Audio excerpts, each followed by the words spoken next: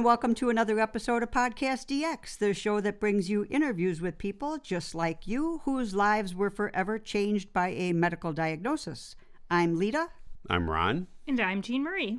Collectively, we're the hosts of Podcast DX. On today's show, we're talking with Dr. Casey Kelley.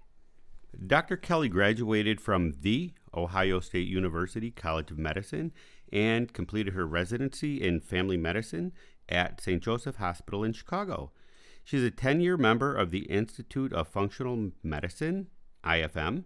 She's also a director on the board of the International Lyme and Associated Disease Society, ILADS, and she is a founding member of the Academy of Integrative Health and Medicine, also known as AIHM.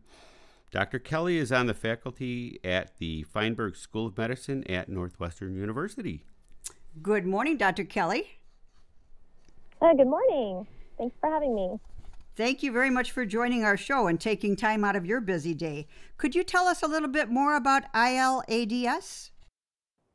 Sure. ILADS. ILADS is making a big difference in the tick-borne disease community.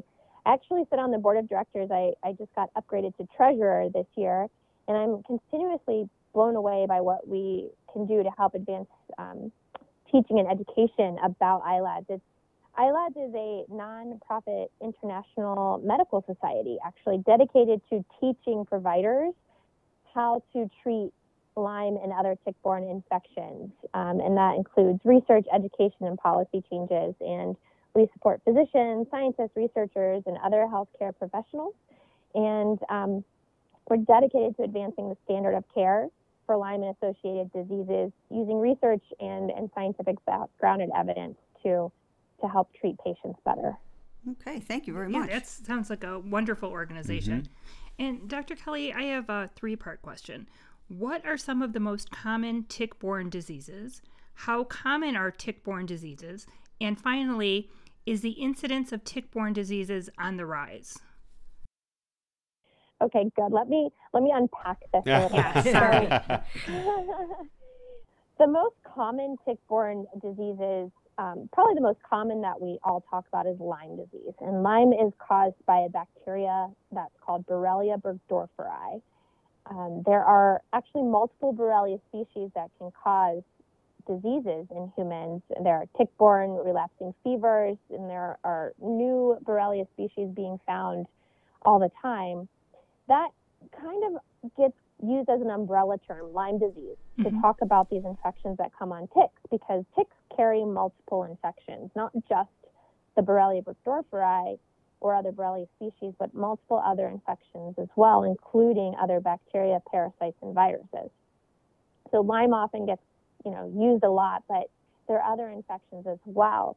Um, and some of the other most common ones, at least in the Midwest where I am in Chicago, uh, are Lyme, Bartonella, which is a bacteria, Babesia, which is a parasite, and Anaplasma ehrlichia. Those are bacterial infections as well. And they all have overlapping symptoms mentology, so it can be kind of tricky to, to weed out what's there. Mm-hmm. Um, but that's you know part of the detective work that we have to do when we're dealing with these um, diseases. Um, they are extremely common. You know, if you talk, if you look at the CDC, unfortunately, they are saying something like 30,000 people a year are, are contracting Lyme disease, but the actual numbers are better estimated probably closer to 400,000 a year. Wow. wow. Big difference. Oh, my goodness. Yeah. Big difference. Big, big difference. Yeah. Um, and so, you know, it, it's not as understood as it should be. And when, and doctors aren't trained as they should be, so they get missed a lot. And when these chronic or these acute infections, excuse me, become chronic, they become a totally different thing and can cause a whole host of issues. Um, and they are absolutely on the rise. And, and part of that is because of global warming and, and those kind of things because ticks really only hibernate when it's frost and frozen. Okay. So they're active when it's warm outside. Sure. And so even if there's snow on the ground, but if it's not frozen, they'll still wow. they'll still be active. I had a patient last year in December who had a tick bite. So you know they're out there more um, for you know for multiple reasons, but that's a part of it. So these are these are definitely on the rise and um, and, and a big problem. That's mm-hmm. they're not being as recognized as it should be. So, Dr. Kelley, although I'm uh, a little bit familiar with bacterial infections spread by ticks, I was surprised to read that ticks can also spread some viruses and parasites. Could you elaborate on that? Yeah, yeah. So there are other infections like I kind of think of it as an entourage. So Lyme kind of brings its entourage with it on these. okay. Ticks. So they carry other things as well. Um, Babesia, as I mentioned, is a, it's actually a parasite. It's, it's similar to malaria. And can cause a whole host of issues, blood clotting issues, um, breathing issues, uh, hot sweats, night flashes, or hot flashes, night sweats. There we go. Um, and there's some other viruses. There's viruses that will come on these ticks as well, like Powassan virus, which is kind of a, a, a bigger buzzword as of late. That's kind of growing um, and being spread as well. So there's other a lot of different kinds of infections that get spread by ticks. Wow, that's surprising. Um, before I continue on our, our regular interview, I just wanted to throw in a, a statement that I think you should write a paper, uh, an information paper, to the, I guess, to the governor, who is, or to the adjutant general. Uh, Jean and I were both members of the Illinois Army National Guard for a number of years, and we trained regularly in Wisconsin. And Jean was a medic, and she has taken quite a few ticks off. Several hundred ticks. I, I think more wow. the VA should be hyper cognitive of the fact that But not just the VA. I'm thinking tick-borne diseases are something you know they should be aware of because yeah, I can't even tell you how many people I've removed ticks from. I've Right, removed and- ticks from every part of, the, part of the body. right, and who follows up on that, right? So anyway, I think uh, maybe an information paper, a white paper, to let them know how big of a problem this is and that what they should be aware of. All right, now I'm back on track. Oh, boy. Thankfully, in Illinois, actually, in, in our Illinois government, they are making some good strides and, and passing some laws and bills to get more education and, and more knowledge and more treatment options available for patients in Illinois. We're leading the charge in that in a lot of ways. Um, I'm actually, um, I get to talk with a scientist, um, Holly Tootin, next week, who's researching ticks in as part of Illinois State and um, f- going out and finding ticks and seeing what's in there and, and putting it on a map so we can actually show providers that no, babesia is, exists in your county. Right. You need to excellent, look for it and excellent. I like yeah. that. Right. It's fantastic. Uh, well, I know you know if I find a tick, I'll I'll ask Jean to remove it. but as a as a as a as a normal human, if uh, if someone finds a tick, should they remove it themselves, or should they ask a healthcare prof- professional to remove it for them? And also, should they save the tick? Yes, I mean, if you have trouble removing it, then you can always ask a healthcare provider, but you should be able to remove it yourself. There's lots of YouTube videos out there. Um, the trick is to get some tweezers and get you know as close to the skin as possible at the head of the tick and pull straight up until it releases.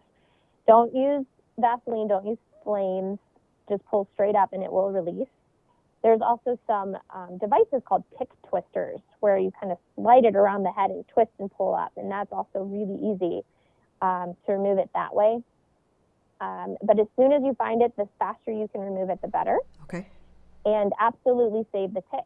Save the tick. You can send the tick in for testing. There are several places where you can send the tick in, um, and they'll test for multiple infections. Um, tickreport.com is one. There's another one called ticknology.com. and they, it's much easier to, yeah it's much easier to find these infections in the tick than it is to find it in a human Okay. so if you get a tick especially if it's engorged send it in because that way you know, your physician can know what we're dealing with if there's any infections in that tick then we can better treat you Well, that's amazing. Yeah, absolutely. So, as a follow up to that, doctor, what are some indications that someone has contracted a tick borne disease? You mentioned about, what is it, uh, being engorged? That the tick, not you. No, I know. The, Oh, okay. but, but again, the tick is. I think that's a different episode. Oh, okay. But no, if the tick is engorged, but I mean, what are some of the things? Um, That you so in other words, like you want to know, yeah. you want to know whether or not you caught something Right, after you got bit right. by the tick. Mm-hmm. Yeah.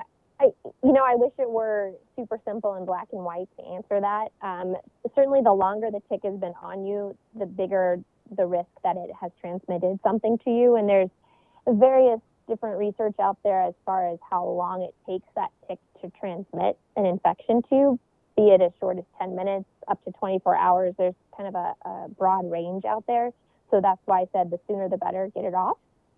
Um, the kind of quintessential pathognomonic Lyme disease um, sign is a bullseye rash. So if you develop a bullseye rash, and it's not painful, it's not itchy, um, it's shaped like a bullseye, and it gets bigger and bigger and bigger. If you see that, that is Lyme disease. Nothing else does that. You need to get treated for 30 days with an antibiotic to help prevent this from becoming chronic. Um, the other side, though, a lot of people never see a rash mm-hmm. or never get a rash. Right. A lot of people actually never see a tick, for that matter, which makes it all that more complicated. But the acute symptoms, generally speaking, for, for Lyme as well as uh, most of the co-infections, are more of a flu-like illness. So sometimes a fever, fatigue, joint pain and swelling can also be a big part of that, especially if it moves around. So it's your knee and it's your elbow oh, and wow. ankle. Um, those are good signs that you've got a tick infection. So the problem is most people, like I said, don't see the tick, they don't see the rash. They get, you know, a flu-like illness that can be pretty mild. It goes away and they seem like they're fine. They just think that they, you know, caught a virus or something, got the flu or whatnot. But it's not super typical to get those flu-like illness symptoms in the middle of the summer. So okay. that can be a sign. You know, 2020 has been a a little weird right, for that. Right, but, least. right. you know, typically that doesn't happen. Um, you know, the the other issue though is these chronic issues. So if you don't catch it right away, it can develop into these a whole host of different symptoms in different people. It's it's really the great Lyme is really the great mimicker. So people can pre- present with multiple sclerosis like symptoms, with wow. rheumatoid arthritis, with chronic fatigue, and so it can be really, really tricky to figure out if that's what happened. But, you know, if you've been sick for two, three, five, 20 years and no one can figure it out and all of your labs are normal, that's when it's absolutely worth looking at these infections as an underlying cause. Okay, that's great advice. Is is there actually a blood test that they could run then at that point and say, you know, we've done everything else, but then we could run this particular blood test to see it was a tick? You can try, although the testing for Lyme is very gray. Unfortunately, that's part another big hiccup in this tick-borne world is that the testing for it is rather difficult, and that's where the research is coming really in, developed, huh? Mm-hmm. Yeah, this you know perfect black and white test. So Lyme disease, you could do a Western blot test. Um, a lot of people will get the screening antibody test or a screening test, which is a horrible test. It misses over half the people but that will come back negative, so their doctor won't do any more testing. So the Western blot, at the very least, is the test that needs to be run to try to figure out if Lyme is an underlying culprit. Okay, thank you. And what treatments are available to treat these tick-borne diseases? There, uh, you can always start with antibiotics. There are a host of herbal antibiotics, and when it comes into this chronic world, it becomes a lot more complex. And so a full treatment plan really you I you know, I'm a little biased because I myself have an I am an integrative medicine doctor. I have my certif- board certification in family medicine as well as integrative medicine. And integrative medicine looks at the system as a whole and tries to get down to the why, why people are sick.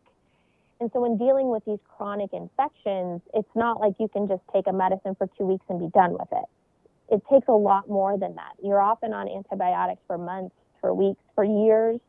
Um, and there's a lot of repair that has to be done as well gut healing, neurological support. It's, pretty complex and complicated. It can be done and it can take a while, but people, we can really regain health if we look at the system as a whole. You know, the, the little asterisk next to that is if you are quote unquote lucky enough to see a tick and get a bullseye rash and get medicine immediately, then you then that might be able to be done. You take your meds for a month and you can kind of hopefully be done with it.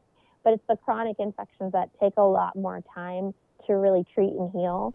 But there are treatments. There's a lot of different things out there. A lot of docs get pretty creative with the different ways that we can help with um, herbs and IVs and, and supplements um, to help people heal and repair from this. Thank you. Yeah, and I, I guess then um, the goal should really be not getting bit by a tick. So my question is, um, how can we avoid contracting tick-borne illnesses, and how can we avoid tick bites? That, yeah, that is a great question and a great point because prevention is key. Um, I don't ever want people to feel a, afraid or scared to go outside, and, and a lot of Lyme patients, you know, have that fear when you know they see the woods, they get scared because that's Mhm. what made them sick, right? But I think if we're prepared, um, we can still go out inside and enjoy enjoy being in nature. You can start by spraying your clothes. So you can buy permethrin at any um, sporting goods store and spray your clothes, your socks, your shoes, your pants, um, your hat, and spray them down outside in a well ventilated area. Let them dry, and those will usually that permethrin is a, a bug repellent, and that will last about six washes or so on your clothes. Oh, Then you also need to use some safe, non-toxic tick sprays on your skin. So permethrin is not skin safe if you just spray it on your skin, but there are some tick repellents. Um, Ranger Ready is a good brand. You can also find um, some with lemon eucalyptus oil. Those are non-toxic for your skin. So spray your skin with the bug spray. That's safe. And then you have to be just super, super hip and tuck your pants into your socks. Really awesome. Um, if you have long hair, wear a hat. Um, and then, you know, after you're out and you enjoy your time, then you need to do a tick check afterwards and, you know, look in all the crevices behind your ears and your scalp. And um, they can be extremely tiny, which is why if you wear the repellents, you're going to help reduce that. But then do a tick check afterwards. Um, and generally speaking, if you find anything, you'll find it fast enough so that's not a problem uh, in that case, and then you can help prevent being bitten by a tick in the first place. Okay. And I know when we take our dogs for a walk in the forest, when we come back, we always do a tick check because um, they're so low to the ground, and we have found um, ticks on more than one occasion. And we don't want them to Yes, snuggle up in bed point. with us, and then the tick falls off, and then looks oh for something else to eat. Yeah, yeah, yeah. And if you if you let your dogs into your bed and then yeah, the tick, yeah, hmm yep. Great point. Check your dogs. Get your dogs to the vet to get tick prevention as well. how long do ticks live? Oh, that's a great question. They're pretty indispensable. or um, they they um yeah. I've heard that they can um, live in water and all these other things, but they they last for quite a while. They're kind of like cockroaches. Okay, okay, all right, good to know. no, it's not good to know. no, it is good to know. Cockroaches of the forest. Yeah, Wonderful. wow. So, Dr. Kelley, uh, this is all interesting stuff. What actually drove your interest in getting into medicine in the first place? Yeah, you know, I've always been one of those kids who liked going to the doctor, which was, you know, odd for a small child, but I was always into science. I was always into helping people. hmm And so I got interested in being a doctor when I was really young. It was, so it was a, a lifelong kind of goal um, Okay. for me. Okay. Yeah. Well, it's actually good. There's a lot of people that don't know what they want to do Right. early on. You did. That's great. I still don't know what I want to do. Too late. And how about you're a podcaster? And how about uh, your interest in integrative health in particular? Yeah, so integrative health, I, I started to kind of dive into a little bit once I was in med school. Um, I I had some trouble kind of understanding why we weren't asking why people were sick. So we were very good at diagnosing people, putting a name on things, and then giving them medicine for that. And then we would have to give them medicine for the side effects for the medicine we gave them for you know the first thing we Mhm. diagnosed but no one was asking why they were sick, especially with these chronic, complex illnesses. And you know, going into primary care, you're, you know, you're you're dealing with these, you know, families and lifelong care of their health, and not, you know, just a broken foot. Which you know, Western medicine is great for you know that kind of things, but I just really struggled with the why. And you know, I kept digging a little bit farther, and I started to learn more about you know, nutrition and supplements and in residency, I, I dug even farther into that world and, and realized there was these groups of doctors out there who've been doing this for a while who were looking at the why, who were really trying Mhm. to figure out why people were sick. Um, and I also, I mean, I had some of my own medical issues as well that started when I was in my teens and 20s that weren't getting answered by the general conventional mindset. Um, tried different medicines and different therapies, and nothing was really working. And so, you know, my own health was also driving this search for why. Why am I sick? Why does this feel Right, right. horrible?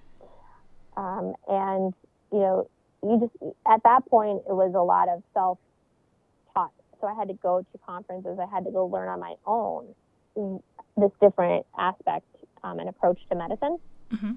Um, and then I myself was diagnosed with Lyme disease um, probably eight to 10 years ago at this point. Uh, and through that journey, that's really how I got into to treating Lyme patients, um, was through my own self journey and healing, helping heal myself from that and learning how to help other people. Well, that's great. You've actually been there and done that and walked in, you know, walked those shoes. yeah, walked in those shoes. And yeah, I think that can make you a more empathetic care provider as well. Mm-hmm. Yeah. Mm-hmm. And Dr. Kelley, what advice do you have for those that are interested in pursuing a career in medicine? And also, what advice do you have for recent medical school graduates? Especially during COVID. Yeah, especially during these interesting times. Oh my gosh. Yeah. I mean, I can't imagine being in school during COVID. Yeah, it's kind of mind boggling. But, um, you know, I, there's so many different types of medical providers nowadays. Um, you know, physicians are, are one, but there's you know, acupuncturists, there's nurse practitioners, you know, there's, there's so many different aspects to it. Medical school is not easy hmm um, it's hard. It's Mhm. really, really hard, and you really have to to know. I think that that's really, really what you want to do. Mm-hmm. If you're interested in helping people, my first advice would say, you know, great, awesome. Look at all the different roles that are available out there, and see if there's one that may fit you better, your personality, your your lifestyle better than being a doctor. Right. You might find that going to PA school might be a lot better.